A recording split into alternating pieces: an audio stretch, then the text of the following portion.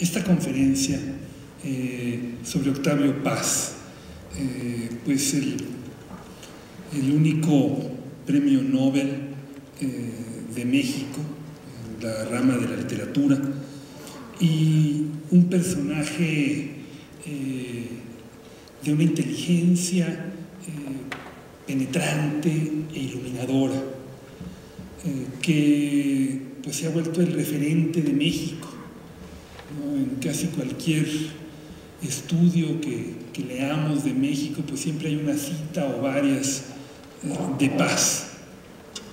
Enrique Krause, su colaborador eh, por muchos años, lo describiría como, lo cito, un filósofo griego, un tribuno romano, un humanista del Renacimiento, un poeta metafísico, un sabio de la Ilustración, un revolucionario girondino, un rebelde romántico, un poeta del amor, un anarquista natural, un héroe de la razón, un politeísta secular, un fervoroso socialista, un socialista desencantado, un incómodo liberal y un crítico apasionado. Eh, para Alberto Ruiz Sánchez, también amigo y colaborador y autor de un eh, excelente libro. Bueno, todos los Krause, todos ellos han escrito ensayos sobre paz, pero Alberto Ruiz Sánchez lo describe como un filósofo que tiene en la lengua las armas deslumbrantes de la creación. Eh, Mario Vargas Llosa dice que Paz es un pensador que defendió la libertad y la cultura democrática, la conciencia viva eh, de su época. Pero quizá el mayor elogio eh, a la obra y a la vida de Octavio Paz vino de su rival ideológico y también ganador del Nobel, eh, Gabriel García Márquez. Cuando murió Paz, García Márquez, eh, ante su muerte, lamentó, y cito, la interrupción irreparable de un torrente de belleza, reflexión y análisis que saturó de extremo a extremo el siglo XX.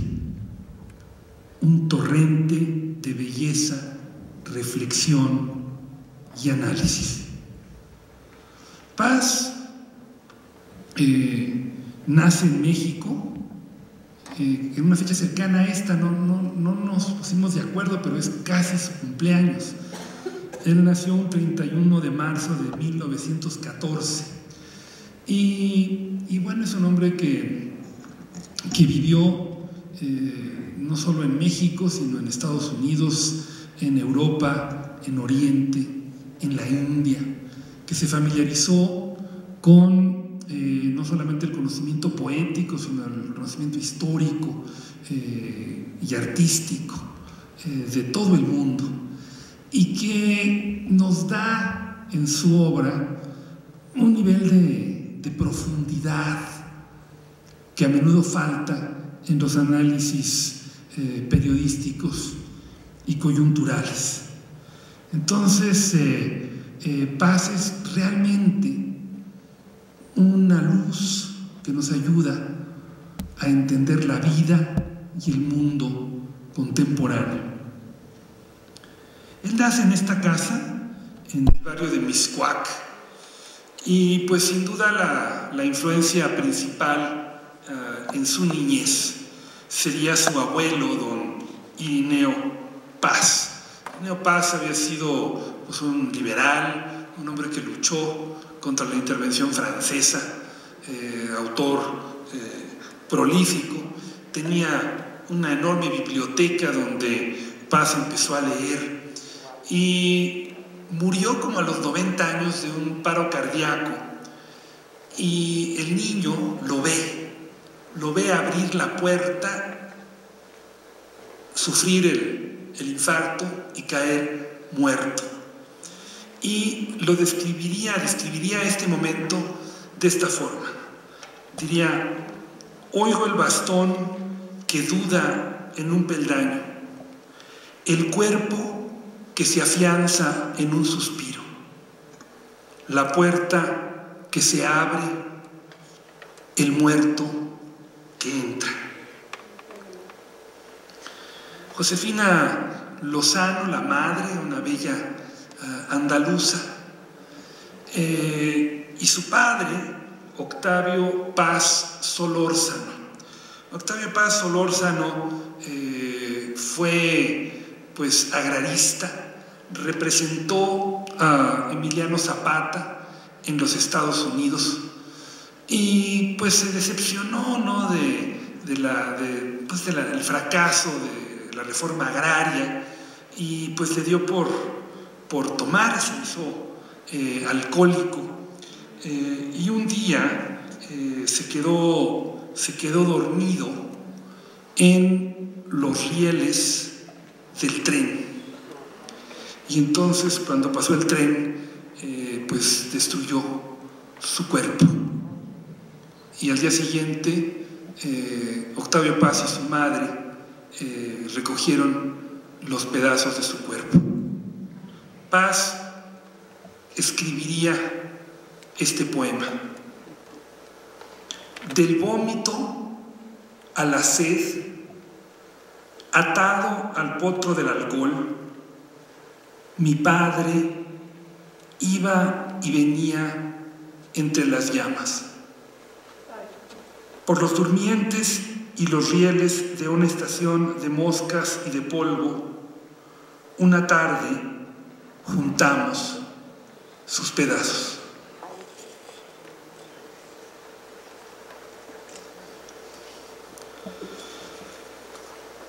Estudia en la, en la secundaria 3 y participa con su amigo José Bosch en una huelga anarquista en la secundaria y después en 1931 ingresa a la Escuela Nacional Preparatoria. Allí conocería a Carlos Pellicer, a Jorge Cuesta, eh, leería a Bujarin, a Valerí, eh, a Guide. Eh, se haría amigo de un grupo de poetas de enorme talento que se llamaban a sí mismos los contemporáneos. Aquí vemos a, a Paz con dos de ellos con Villaurrutia. Y, este, y sin embargo, pues él se da cuenta que a menudo eh, sus amigos hablan mucho de la, de la revolución y de las causas populares, pero hacen muy poco por los oprimidos. Y entonces él eh, decide abandonar sus estudios y se va a Yucatán como, como maestro rural. Y entonces, eh, pues Yucatán es un lugar en donde pues la revolución casi no tuvo un impacto, un lugar en donde hay este, pues una concentración eh, abismal de la riqueza, en ese entonces exacerbada por el cultivo del enequén. Entonces este, es una, una explotación tremenda, una situación realmente feudal, en los campos yucatecos. Y entonces a él eh, pues le toca ver toda esta, esta explotación, esta tierra árida. Escribiría un poema en donde diría, dime sequía, dime tierra quemada, tierra de huesos remolidos, dime luna agónica. No hay agua, hay solo sangre, solo hay polvo, solo pisadas de pies desnudos sobre la espina, solo andrajos y comida de insectos y sopor bajo el mediodía impío como un cacique de oro. Y Paz recordaría eh, con precisión cómo un día en 1936 él estaba en Chichen Itza y estaba viendo eh, la imagen de un eh, sacrificio humano. Y entonces, eh, en ese preciso momento, llegó la joven Elena Nagarro con un telegrama en el que invitaban a Paz a un congreso de escritores antifascistas en Valencia. Entonces, este, pues Paz eh, deja Yucatán, se casa con la muchacha y se van juntos a España. Eh, la guerra española es eh, pues el gran prólogo a la Segunda Guerra Mundial y es allí, en, este sitio donde se concentran todas las pasiones políticas e históricas del mundo, donde llega Paz y su joven esposa. Eh, el fascismo se había apoderado de Alemania y se extendía por Europa.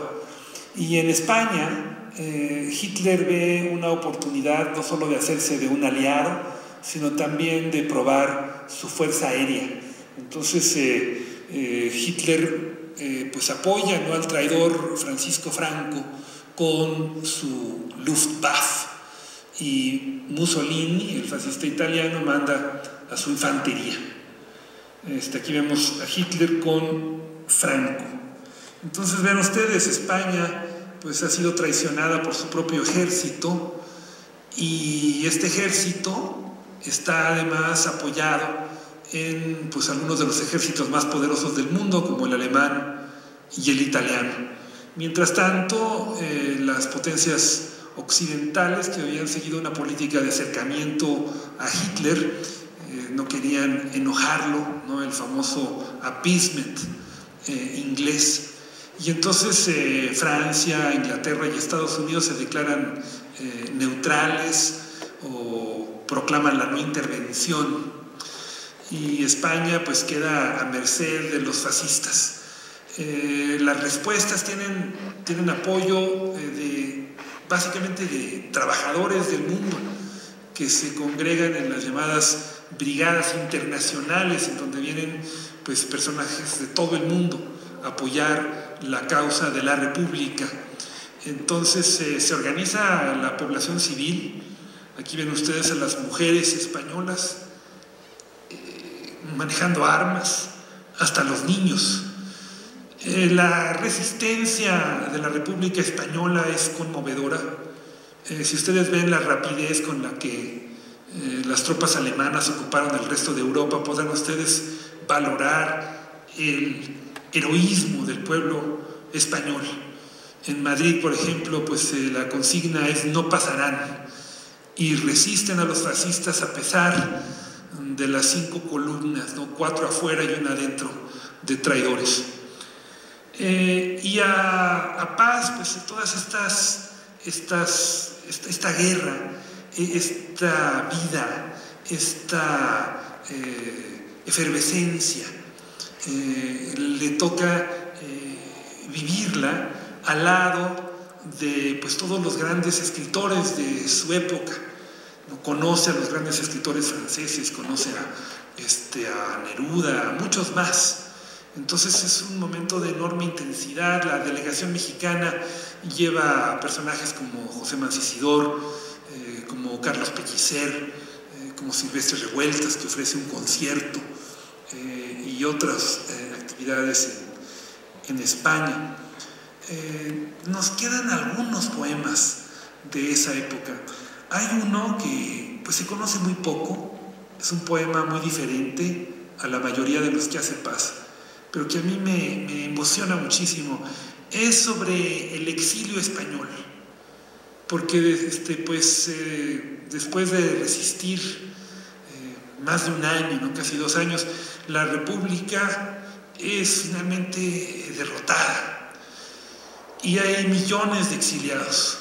¿no? Algunos eh, van a Francia, donde los meten en campos de concentración eh, pero muchos otros los recibimos en México, en Chile, y en México pues el exilio español tendría una aportación muy ilustre. Eh, lo que hoy llamamos el Colegio de México, alguna vez fue la Casa de España, eh, y muchos de estos españoles pues vinieron a México a enriquecer nuestra cultura, nuestra cátedra, y no solamente poetas famosos como León Felipe, sino también jóvenes que se volverían médicos y profesionistas y escritores.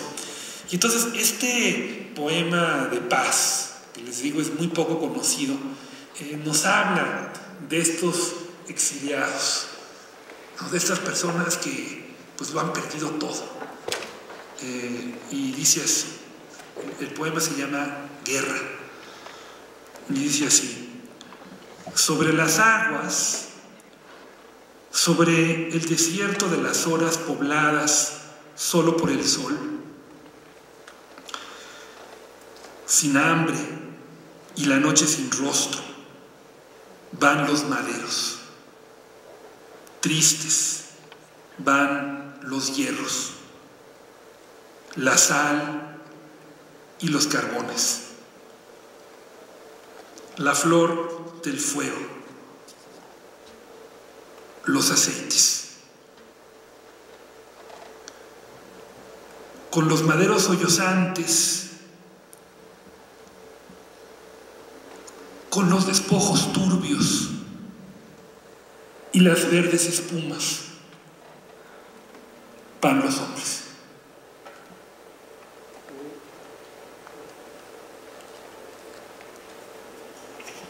Ahora,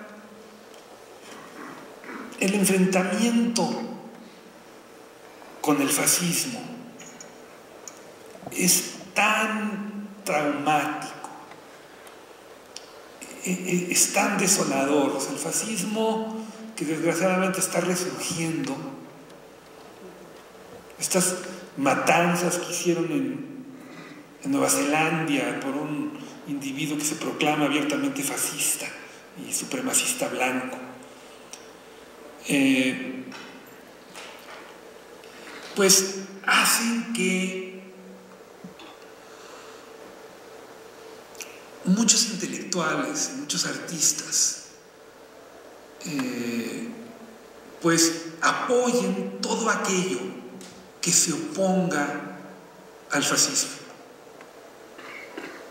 Y entonces eh, se consideraba, eh, por ejemplo, una traición criticar a, a Stalin, porque Stalin era enemigo de Hitler.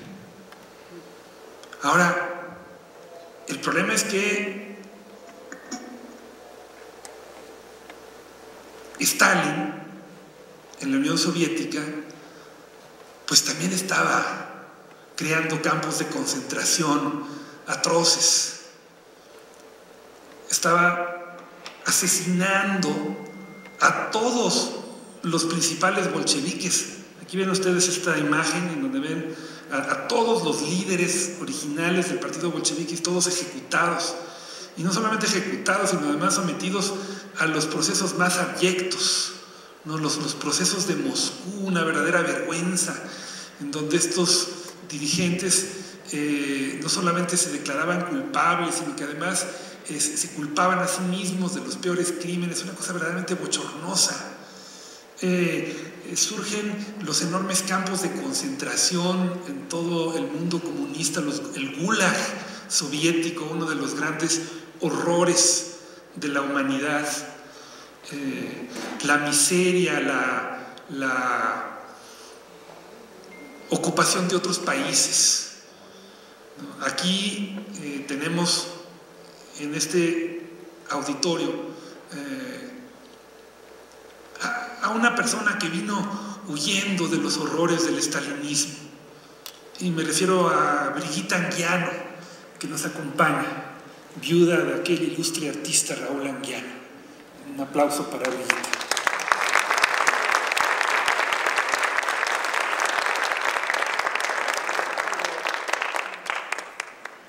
Entonces, eh, paz está ciertamente en contra de, los fascistas, pero no puede no ver lo que está ocurriendo en el campo soviético, donde inclusive se falsifica la historia. Si ustedes ven aquí por una persona cae de la gracia y entonces si estaba en la foto, en la foto oficial se le borra, se le desaparece. Y entonces eh, siente ya en, España como eh, cuando, por ejemplo, en algún momento eh, Carlos Pellicer se refiere a Trotsky como el agitador más grande desde San Pablo, que se hace una reacción helada. Empieza a ver cómo ya hay, hay personas no gratas y cómo los mismos comunistas matan a otros comunistas de distintas tendencias. En México, eh, pues se da, se da asilo al gran rival de Stalin, a, León Trotsky. Y, Trotsky es eh, asesinado en México por agentes stalinistas. Y bueno, ya el colmo es cuando eh, Stalin y Hitler establecen una alianza. Y entonces, eh, pues Paz entra en, un proceso de intensa soledad, porque ciertamente eh, pues no, forma parte de, los derechistas y los conservadores y, condena el fascismo, pero, pero también pues condena el, el abuso y el crimen en los países comunistas. Entonces, eh, pues pareciera no tener un espacio donde eh, pues ejercer eh, su labor intelectual. Adquiere una serie de trabajos muy raros, por ejemplo, además de su labor literaria, en publicaciones como Taller, consiguió un trabajo en el Banco de México en el que tenía que quemar dinero. Supuestamente debía de contarlo, pero dice que llegó un momento en que ya se familiarizó, vamos a ver cuánto era, y lo tiraba y mientras lo quemaba, inventaba poemas. Inclusive le compone una canción que le estrena Jorge Negrete. Después eh, consigue eh, una beca Guggenheim, una de las becas más prestigiadas de Estados Unidos, y a los 29 años se lanza a Estados Unidos y, pues se familiariza con, con, el trabajo de Walt Whitman y de Yates, de Ezra Pound y de, Blake. Aprende, como, como diría eh, Ruiz Sánchez, a fundir la historia, en, este, historia y poesía, la, utilización de un lenguaje coloquial en, en sus obras. Ustedes dirían, bueno, pues, eh, pues estaría muy agradecido de recibir esta beca y, pues se dedicaría a, celebrar los, muchos logros de la democracia norteamericana. Pero otra vez, eh, el paz lúcido e inteligente, pues no puede dejar de ver eh, pues la discriminación terrible la opresión, eh, sobre todo a las minorías de color y en un caso muy dramático a los mexicanos que trabajaban y, siguen trabajando explotados en los campos norteamericanos. estos trabajadores mexicanos son responsables de la agricultura más próspera del mundo y sin embargo siguen siendo aún hoy maltratados, vejados, explotados. Y entonces eh, Paz, eh, pues no solamente observa esta, esta situación, sino también observa al, al mexicoamericano, ¿no? y conductas, pues distintas a la sociedad norteamericana, ¿no? Observa al, pachuco, por ejemplo, ¿no? Que, no se, que no se fusiona con el American Way of Life, que se resiste a integrarse a este mundo, que, se separa y que es subversivo precisamente porque tiene una identidad diferente al resto.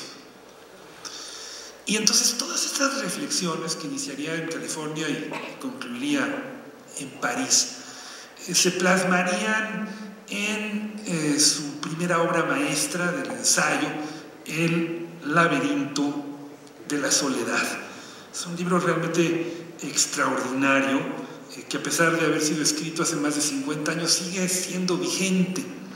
Es un libro que les da a ustedes pues muchas cosas, ¿no? Les habla pues de, las malas palabras en México y su origen, nos habla del, ninguneo, se pregunta, por ejemplo, ¿de dónde viene el machismo en México? Entonces dice, no, pues el, macho, el personaje del macho, está modelado a partir del conquistador español, el conquistador español que viola, abusa, roba, se va, ejerce la virilidad de la forma más irresponsable. Y después se pregunta Paz, bueno, ¿y, quiénes son los hijos de la chingada? Pues nosotros, todos, los mexicanos somos. ¿Quién es la chingada? Pues es la madre indígena violada por el conquistador. Y luego explica fenómenos de cómo eh, pues la, madre pues, se vuelve pues, casi una figura eh, mítica para el hijo, que, que, adora a la madre y, este, odia al padre, pero después él se convierte también en el padre. ¿no? Muchas conductas que se, que se repiten, ¿no? Eh, y que ahora pues vienen como anillo al dedo. ¿no? Este, con todo este debate que hay sobre la conquista. Le acabo de contestar a Vargas Llosa, ¿no? que no sea estúpido. O sea, esta idea, este, ¿cuál ha sido la respuesta que le, han dado al presidente López Obrador? Bueno, pues básicamente, pues eh, ese chiste que alguna vez he compartido con ustedes, ¿no? que, ese, diálogo entre el, el mexicano y el español, y entonces eh, el mexicano le dice al español, no es que eh, sus antepasados este, violaron a nuestras mujeres, sus antepasados destruyeron nuestros templos, sus antepasados le quemaron las pies a Cuauhtémoc y, el español le dice, no, no, perdóname, pero no mis antepasados, los suyos, porque los míos se quedaron en España. ¿No? Entonces, básicamente eso es lo que le contesta Vargas Llosa al presidente. Y claro, eso está muy bien en una broma o en un chiste, pero, pero bueno, ¿cuál es lo que se está diciendo? ¿Qué es lo que se está diciendo? Que bueno, pues que como el conquistador, pues en el mestizaje se fusiona con el pueblo mexicano, pues se vuelve mexicano y entonces, bueno, pues ya sus actos pues, son parte de nuestra cultura, ¿no? Entonces, por ejemplo, Vargas Llosa le dice al presidente, pues esa carta se la debiera haber usted dirigido a sí mismo. Sí, chucha, pues es, como si, o sea, ¿cuál es? Es como si, como si los conquistadores hubieran venido a título personal. No, señor, esas gentes vinieron en representación y con el apoyo de la corona española. Y todo ese río de riqueza, esas minas infernales, todos esos obrajes, esa explotación brutal, esa fuerza, todo ese, ese dinero todo se fue para Europa. Tristemente no todo para España, muchos se lo robaron los, los ladrones ingleses, corsarios y piratas, y luego, pero, pero con eso se construyeron los palacios y todo ese, ese esplendor. Entonces, ¿cómo es posible que ahora nos digan, no, pues, quién sabe, man? Tú, todo, todo el legaje del colonialismo, eso es real, eso existe. O sea, no que no sea responsabilidad nuestra, el estado de abandono y miseria de los indígenas. Pero el negar las consecuencias del colonialismo, pues es negar la historia. Es como en Estados Unidos los, los supremacistas blancos, que dicen, no, pues yo no sé de qué se quejan los negros. Pues ya hasta tuvieron un presidente, ya no hay leyes que los condenen, ¿por qué se quejan? Pues sí, ¿verdad? Después de 300 años de esclavitud, donde les robaron sus ingresos y, cientos de años de linchamientos, y de, y, de segregación legal. Pues no, no es igual un hijo mío al nieto de un esclavo, ¿verdad? No es igual. O sea, la historia pesa, duele. Hay que reconocerla, ¿no? En fin, esa es otra conferencia. Pero bueno, este, todos estos fenómenos los, estudia Paz, estudia esta fusión de culturas, ¿no? y, es, un libro que pues, nos compara al, mexicano y al americano, eh, nos dice cosas como, por ejemplo, eh, que dice, nosotros, dice, los mexicanos mienten, los norteamericanos no mienten, pero sustituyen la verdad, la verdad, la verdad social la verdadera verdad por la verdad social. Dice, nosotros nos emborrachamos para confesarnos, ellos para olvidar. Ellos son optimistas, nosotros somos nihilistas. Nosotros somos desconfiados, ellos son abiertos. Este, y así, ¿no? Ellos quieren comprender, nosotros queremos contemplar. El puritano identifica la pureza con la salud, de allí el ascetismo, el culto al trabajo y la idea de que todo contacto con razas, ideas o costumbres extrañas contamina. Mientras que nosotros los mexicanos creemos en la comunión y en la fiesta. No hay salud sin contacto, sin, este, es, completamente distinto. ¿no? Entonces, bueno, pues obviamente que pues hay que leer El laberinto de la soledad. Eh, yo les recomiendo eso y pues todo pasa. ¿no? Este, pero es un, libro notable. Y Paz ingresa al, servicio eh, diplomático eh, y logra que lo nombren eh, diplomático en París. Entonces aquí pues continúa su cultura, lee a Camus, a Eluard, a Malraux, a Sartre, a muchos más. Y pues concluye el, laberinto de la, soledad y hace otros libros de poesía, como eh, Libertad eh, bajo palabra. Es también un defensor del surrealismo, de, que, pues, con que se vincularía. También le toca eh, vivir en el Oriente y en, en Japón específicamente, aprende a admirar estos poemas, estos mini poemas intensos, concentrados, de una o dos líneas, que se llaman haikus. Y de hecho, escribe varios haikus. Quiero compartir con ustedes algunos haikus de Octavio Paz. Este, por ejemplo, se llama Mediodía. Fíjense cómo describe el mediodía con unas cuantas palabras. Dice, la luz no parpadea. El tiempo se vacía de minutos se ha detenido un pájaro en el aire. O este otro, fíjense, este sobre el amanecer. Qué bonito.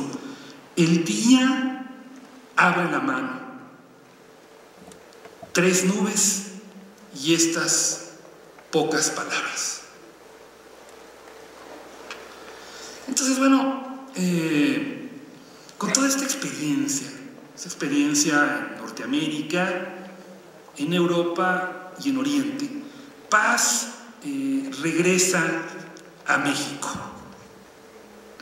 Y en México, pues, eh, funda eh, un grupo llamado Poesía en Voz Alta, escribe libros como El Arco y la Lira, defiende a artistas como Rufino Tamayo, y, se convierte también en un gran crítico. Él, eh, además de su labor como ensayista y como poeta, pues se encargaría de, hablar de nuestros principales pintores y de, defenderlos, inclusive a figuras como a Luis Buñuel, Luis Buñuel que fue muy cercano al Cook, pues eh, cuando presenta Los Olvidados en, Cannes, pues ahí está Octavio Paz repartiendo un, volante de apoyo al gran cineasta español. Pero quizá lo, más importante de este primer retorno a México es su, su poema Piedra de Sol. No se deben morir sin haber leído Piedra de Sol por lo menos una vez, queridos amigos.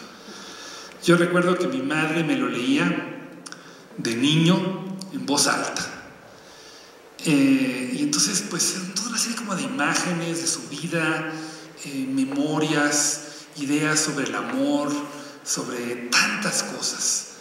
Y yo me acuerdo que yo me dejaba llevar por las palabras y había un momento de Piedra de Sol en que mi madre siempre se ponía a llorar.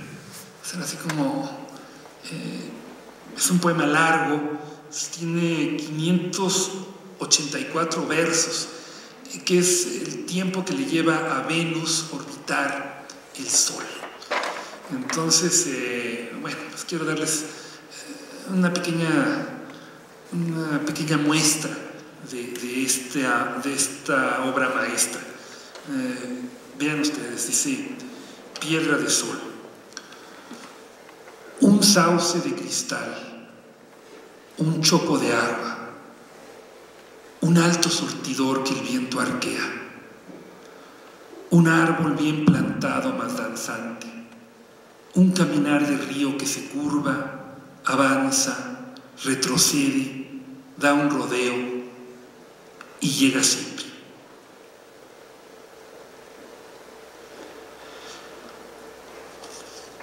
El mundo cambia si dos vertiginosos y enlazados caen sobre la hierba.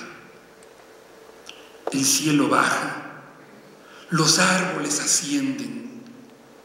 El espacio solo es luz y silencio, solo espacio abierto para el águila del ojo. Pasa la blanca tribu de las nubes, rompe amarras el cuerpo, zarpa el alma. Perdemos nuestros nombres y flotamos a la deriva entre el azul y el verde. Tiempo total donde no pasa nada, sino su propio transcurrir dichoso.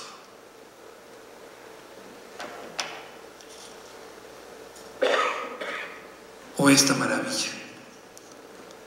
Amar es combatir.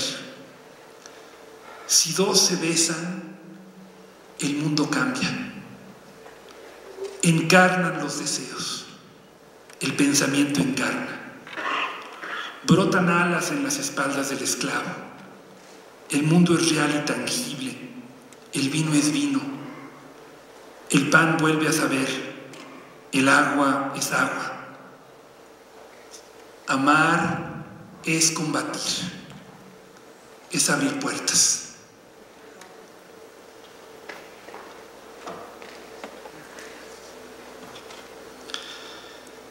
Regresa en 1959 a París.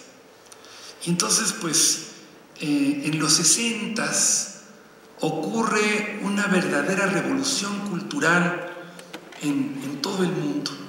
Y hay un libro de paz, que es uno de mis favoritos, se llama Corriente Alterna, en donde describe todo este mundo eh, que está eh, por surgir. Es un libro donde, nos habla de las drogas, de la meditación en donde eh, pues eh, compara, eh, nos dice por ejemplo cuál es la diferencia entre el alcohol y las drogas. Entonces, Paz todo tiene un largo sentido histórico, ¿no? Nos dice, bueno, pues es que el, vino, el vino tiene sus, sus arquetipos en el banquete platónico y en la última cena. Entonces, por lo general, cuando la gente toma vino, lo hace para comunicarse. Mientras que las drogas, pues, tienen un origen oriental, eh, donde el yogi, pues, eh, usa drogas para meditar, para interiorizar el mundo, para conocer sus propios fantasmas. Entonces, en cierta forma, eh, el alcohol y las drogas se usan para lograr efectos opuestos. Eh, nos dice cosas muy interesantes, nos dice cómo, por ejemplo, en los 60 lo que realmente cambia es nuestra visión del tiempo. Nos dice cómo, por ejemplo, en el cristianismo tradicional, pues hay la vida terrena y luego la vida eterna. ¿no? Eh, en el capitalismo y en el comunismo, pues eh, hay, se sustituye este paraíso por un tiempo en el futuro, es decir, el futuro para el que hay que sacrificarse y hay que ahorrar. ¿no? En, las sociedades socialistas se habla de la generación sacrificada, en las capitalistas se habla de, del ahorro para el, futuro. a vivir por el futuro. Pero lo que dice Paz es que en los 60 la gente cambia esa búsqueda del futuro y la sustituye por el presente. O sea, la gente quiere vivir en el momento, en, el hoy. Por eso el amor libre, por eso las drogas, por eso eh, el rechazo a las, a las convenciones. Nos habla del rock, eh, de la moda, eh, del hipismo, de todo este rechazo a, las, las, culturas tradicionales, al militarismo. y también nos habla mucho de las mujeres y del significado de la liberación de la mujer. Tiene análisis espléndidos sobre las diferencias entre las mujeres latinas o mexicanas y las anglosajonas. Y entonces Paz dice, bueno, en, México, pues la mujer casi siempre tiene eh, como modelos eh, pues a, la madre indígena o española, ¿no? o al amante árabe pero siempre esto tiene pues una conciencia muy viva de su cuerpo, no hay contradicción con su cuerpo, que me decía si es madre, esposa o amante. Mientras que dice en Estados Unidos pues no hay ningún equivalente a la Virgen de Guadalupe, no hay ningún valor femenino, todos los valores son masculinos. Y el problema es que la, igualdad se busca en términos masculinos. La mujer busca igualdad de pago, igualdad de derechos, igualdad de trato, igualdad de todo esto. Entonces dice Paz, eso está muy bien. ¿no? Claro que una mujer debe de recibir el mismo pago por el mismo trabajo. Pero si nosotros solamente exaltamos los valores masculinos, pues entonces eh, todo lo que no es masculino se vuelve un problema. Si una mujer tiene un, este, un embarazo, pues se sale del mercado de trabajo, por ejemplo. Entonces, lo que dice Paz es muy interesante. Dice, lo que tenemos que luchar es no solamente por la igualdad de derechos de la mujer, sino también por lo que él llama feminizar a la sociedad, es decir, eh, los, los, trabajos que tradicionalmente hace la mujer, el cuidado del hogar, el cuidado de los hijos, deben ser reconocidos como trabajos importantes y válidos, tan importantes y tan válidos que pueden ser hechos por un, por un hombre también. ¿no? Es decir, la, la búsqueda de la igualdad reconociendo la, las distintas identidades propias del hombre y la mujer. En fin, eh, también son cosas que, pues, que no podemos agotar en un, breve, en un breve comentario, pero que son eh, realmente temas que hoy, aún hoy, siguen siendo vigentes y siguen siendo eh, interesantes. En 1962, Paz es nombrado embajador de México en la India. Entonces para él este es un periodo muy importante. Eh, escribiría eh, libros como Conjunciones y Disjunciones, eh, Monogramático, Ladera Este, pero se, familiarizaría con toda una, una, nueva espiritualidad y con toda una nueva sensualidad, un, un distinto concepto del erotismo y del amor. Pero quizá lo, más importante para Paz sería eh, encontrarse con eh, María José eh, Tramini. Había tenido un muy mal matrimonio con Garro y entonces cuando encuentra esta joven francesa, pues se enamora a tal grado que él diría que pues después de haber nacido lo más importante que le había ocurrido era conocer Amarijo. Y pues está en, eh, en, esta búsqueda, en esta etapa de gran realización eh, poética y personal, cuando eh, pues los movimientos estudiantiles que ya se habían venido gestando antes, pues llegan a un clímax en todo el mundo este, los jóvenes eh, se oponen a la, opresión. En Estados Unidos los jóvenes luchan contra la guerra de Vietnam. Eh, en Checoslovaquia los jóvenes se oponen a las tropas eh, soviéticas que los invaden. y les ponen flores a sus rifles. En México hay todo un despertar eh, democrático. Vemos a, estos jóvenes que por primera vez eh, pues organizan un gran movimiento civil al margen del Estado. Un Estado monopólico, corporativo, controlado de arriba abajo por el PRI. Y de pronto, estas multitudes de miles de jóvenes exigiendo participación, exigiendo diálogo, exigiendo eh, democracia. Y la respuesta del Estado mexicano es brutal. Lanza a los granaderos, al ejército, eh, eh, y el 2 de octubre de 1968, hace 50 años, el ejército mexicano dispara sobre la multitud inerme, asesina un número enorme de jóvenes.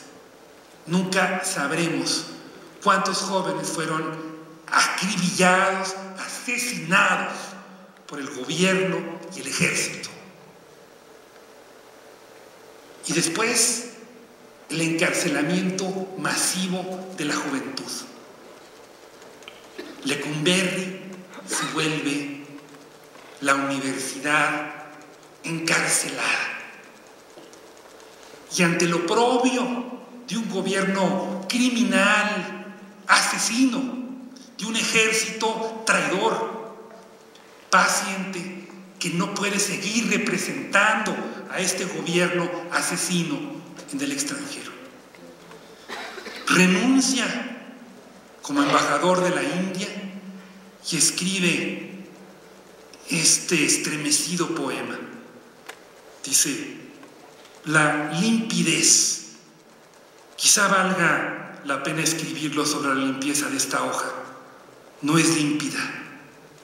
Es una rabia amarilla y negra, acumulación de bilis en español extendida sobre la página. La vergüenza es ira vuelta contra uno mismo. Si una nación entera se avergüenza, es león que se agazapa para saltar.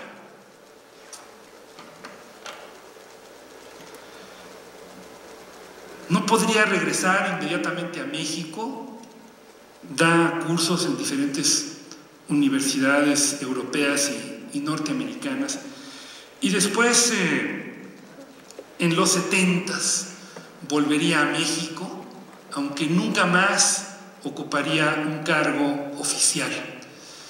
Y de su retorno definitivo a México, eh, pues eh, crearía dos grandes publicaciones. Plural, parte del Excelsior Democrático de Julio Scherer García, de 1971 a 76. Eh, Plural y Excelsior pues también fueron agredidos por Luis Echeverría. Y después de Plural, Vuelta, de 1976 a 98. Ahora, envuelta, eh, pues sería además un espacio en donde invitaría a escritores de todo el mundo eh, y también crearía una vasta e importante obra eh, personal. Muchos libros, entre ellos una obra maestra dedicada a Sor Juana Inés de la Cruz, las trampas de la fe. Pero envuelta, Paz criticaría toda forma de opresión, toda represión. Denunciaría no solamente lo que estaba ocurriendo en las dictaduras militares de Sudamérica, sino también en los países del llamado eh, comunismo real, ¿no? denunciaría toda forma de represión, de opresión, de censura. Eh, eh, sus publicaciones serían una tribuna para exigir eh, democracia. Paz insistiría una y otra vez que el camino a seguir no es el totalitarismo, sino la pluralidad y la democracia, y que la labor de, un intelectual es ser crítico y ser independiente. Entonces, eh, aquí ven ustedes, uno de los, aquí ven ustedes uno de los horrores del comunismo real, aquí es en Corea del Norte, donde ven ustedes estos individuos postrados ante la estatua de un tirano que es el padre del actual dictador de Corea del Norte. Y también, eh, pues hablaría de, todo lo que estaba ocurriendo en el mundo. Eh, eh, denunciaría el fundamentalismo islámico también como, un, fanatismo obtuso, cerrado a la crítica y al pensamiento fanatizado y criminal. Eh, muchos de estos ensayos, estos este, estudios que hace sobre eh, lo que ocurre en Estados Unidos, en donde denuncia cómo a veces eh, todo se convierte en una mercancía, ¿no? todo se confunde el concepto de valor por el de precio. Analizaría lo que ocurre en, Europa, en lo que está ocurriendo en América Latina. Este libro todavía puede leerse con interés porque lo que está ocurriendo en el mundo es muy similar a lo que anticipa Octavio Paz. Paz, por ejemplo, nos dice, ¿qué va a pasar cuando acabe la Guerra Fría? O sea, ¿qué es la Guerra Fría? La Guerra Fría es este, este confrontamiento entre el capitalismo y el comunismo, que en esencia son dos variantes del pensamiento occidental. Dice, y, esta contradicción entre comunismo y capitalismo ha tapado todas las demás. ¿Qué va a pasar cuando ya no exista este conflicto? Porque recordarán ustedes que había quienes pronosticaban un mundo feliz, el, absurdo fin de la historia, decían. Y Paz dice, no, dice, lo que va a pasar es una pesadilla, porque lo que va a resurgir son todos estos odios étnicos y religiosos, lo que Paz llama los particularismos. Vamos a, vamos a ver, ¿no? y, se da, se da la, caída del, del comunismo y el resurgimiento de todo este pensamiento tribal ¿Qué es el señor Trump? Pues es la tribu blanca norteamericana. Piensa así. Los racismos terribles, los fanatismos religiosos, todos estos pensamientos que no son lógicos. Tengo un primo mío que es una lista ¿no? del comercio, muchas de las lo que está ocurriendo, a veces como que me dice, no, no, no pues sí, porque la lógica no es lógica. Es una lógica que tiene que ver con otros elementos y que son muy difíciles de negociar. A ver, negocia con un ayatollah que le ha prometido a sus ejércitos que si van y, se, hacen un ataque suicida, se van a ir al paraíso y les van a dar 62 vírgenes y lo cree. A ver, negocia. ¿No? O sea, todo un mundo eh, incomprensible, en donde eh, pues se siente en algunos casos el ocaso de la razón. Interesante, Paz. Eh, el último libro de poemas que, escribiría se llama Árbol Adento. y yo desde que lo leí, como que tengo una nueva, una relación diferente con mi cuerpo. Fíjense ustedes, les recomiendo. Cierren, cierren los ojos para que no se distraigan. Fíjense, dice, creció en mi frente un árbol, creció hacia adentro. Sus raíces son venas, nervios sus ramas, sus confusos follajes pensamientos. Tus miradas lo encienden y son frutos de sombra, son naranjas de sangre, son granadas de lumbre. Amanece en la noche del cuerpo. Allá adentro, en mi frente, el árbol habla. Acércate. ¿Lo oyes? Interesante, ¿no? La idea es de que conforme va uno envejeciendo, crece un árbol adentro de uno. En 1992, Octavio Paz eh, recibiría pues, el máximo premio, el máximo honor eh, literario, el premio Nobel. Y pues su recepción del Nobel, su discurso de recepción del Nobel, es otra pequeña obra maestra. Se llama En búsqueda del presente. Y en este libro, eh, Paz nos dice que durante el siglo XX la mitad de la humanidad se había concentrado en buscar la igualdad. Pero si tú solo buscas la igualdad, acabas reprimiendo la libertad. Me imagino, o sea, refiriéndose al comunismo, dice. La otra mitad se ha concentrado en la libertad, refiriéndose al capitalismo. Pero si tú solo buscas la libertad, acabas con una sociedad profundamente desigual e injusta. Y entonces dice Paz, la única forma de reconciliar la libertad con la igualdad, es con el rescate del tercer gran valor democrático.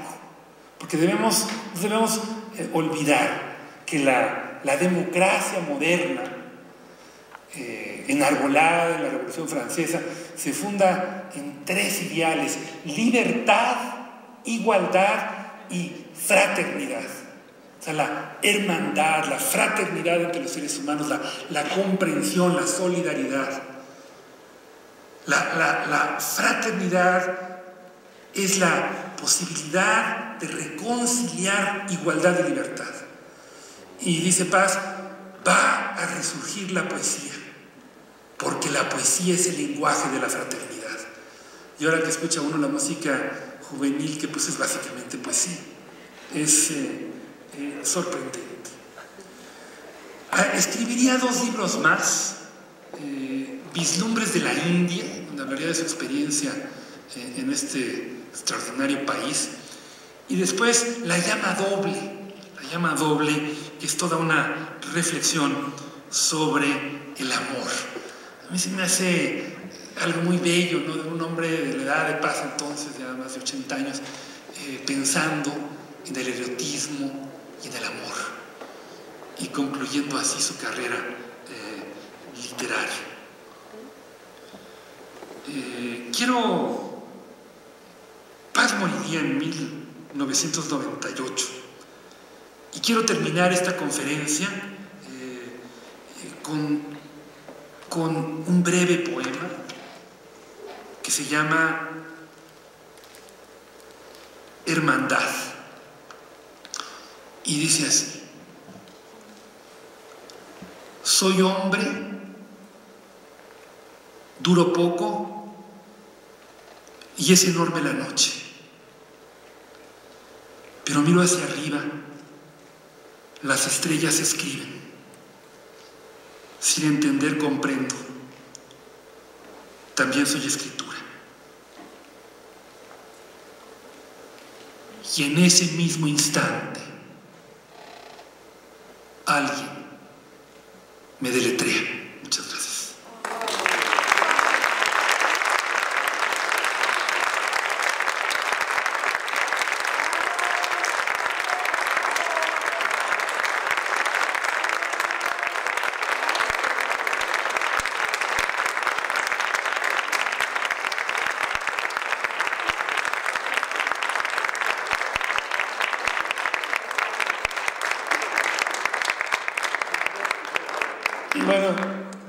Quiero terminar como, como lo hizo Octavio Paz en una plática que tuvo en la UNAM. Entonces dio la plática y después compartió esta historia. Les dijo, discutían teólogos católicos y dialécticos marxistas. Entre ellos estaba un escéptico. Cabo de unas horas se levantó y dijo, señores, los dejo en su mesa con sus masas y sus misas. Yo me voy con las mozas, que son mis musas. Muchas gracias.